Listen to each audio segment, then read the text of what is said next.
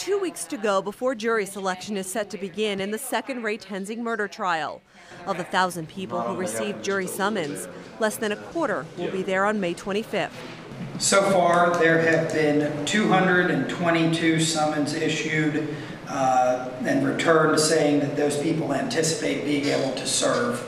93 people have been excluded from serving because they are either over the age of 75, served on a jury in the last two years, or will be out of the country.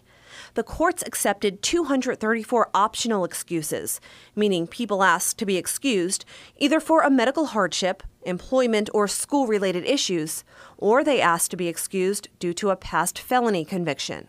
There were 129 individuals who requested a postponement of their jury service. Under Ohio law, uh, jurors are entitled to a postponement of up to six months. Uh, those requests were all granted. More summons could be returned between now and May 25th. That now leaves us with a total of 223 potential jurors as of now.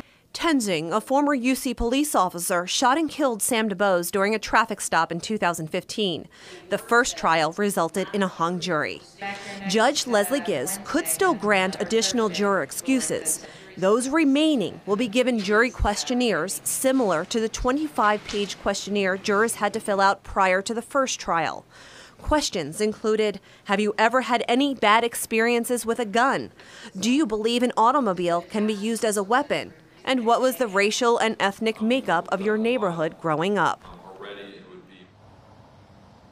And one issue that will be heard prior to the start of the trial centers around the t shirt Ray Tensing was wearing underneath his uniform the day of the shooting. It had a Confederate flag on it, and the defense wants that tossed out as evidence. Reporting live downtown tonight, Karen Johnson, WLWT News 5.